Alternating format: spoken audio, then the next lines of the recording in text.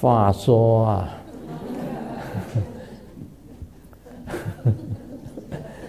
这个这是回风缘起呀。话说啊，在纽约有一位弟子，他法号叫连雷啊，连雷知道吗？啊，纽约金刚雷藏寺。啊，连雷法师，连雷法师，他在二零一零年的时候啊，走路不小心，摔断了右手，摔断右手，摔断右手呢，他又带三个小孩子，啊，那个时候呢，他就把最小的小孩叫做。最小的女儿叫做 Lisa 啊，Lisa 是 L I 啊，L I S A 啊，Lisa 就送到叉叉学校去读书，所以他在二零零二年到二零零四年。多去了这个旧金山，那么第一个看他的女儿在那边读书，第二个他去拜梁皇宝忏，他去拜拜梁皇宝忏。他有一次有一次啊，他拜完了，在二零零二年到二零零四年之间。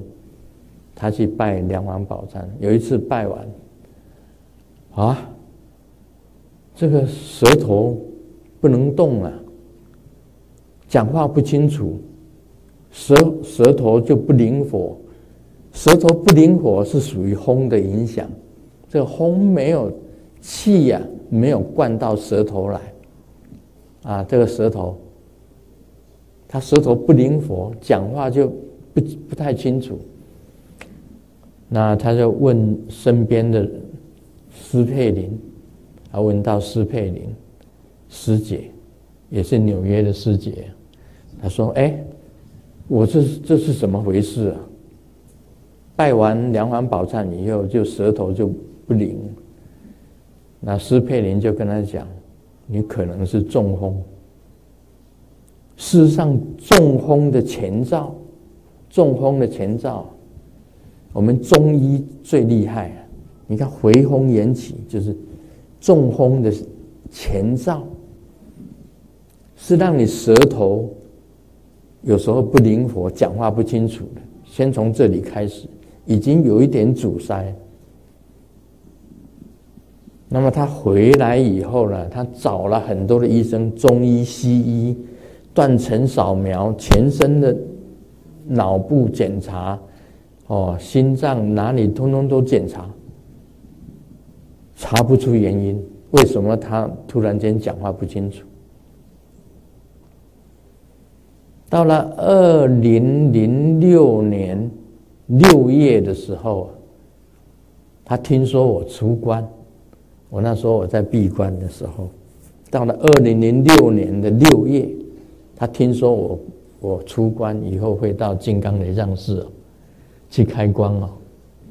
二零零六年六月，啊，这个莲雷法师呢，他写了一封信给我。他说他讲他的现象，啊，师尊就是画了三道符，发了三道符，用这一种加回风延起的这一种力量加持那个符给他。他吃了三道符以后，吃完第三道，舌头就正常了。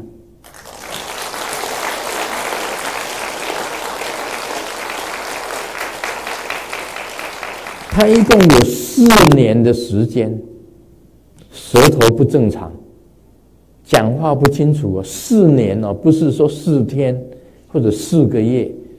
不是，他有四年的时间讲话不正常，而且舌头始终没有办法灵活应用。结果那三道符下去，他就完全好了。这是他他的第一个感应，第一个感应的事情。嗯，这个话说，这个连雷法师的第二个感应是这样子的，这个感应不是很好。他第一个感应，我认我是说他在拜忏的时候啊，他卡了音，卡了音了，就在拜忏的时候卡了音。四年当中讲话都不清楚，我发觉有一种现象，有几个人讲话不清楚的，莲花正福，讲话不清楚。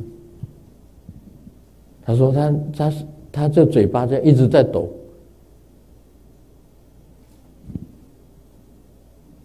啊，自从这个跟叉叉接触以后，他嘴巴。一直抖抖个不停的，不，像鸟嘴啊，像鸟的嘴一样啊，抖个不停呢。他已经卡音了。这个人雷法师的现象也是这样子。另外还有一个蒙面，蒙面的嘴巴，他只要一附身一讲话。就是这个样子。另外还有那个那个花莲呐，那个花莲同学会廖鹤群，他上台讲话讲不出来，这嘴巴也是这个样子啊。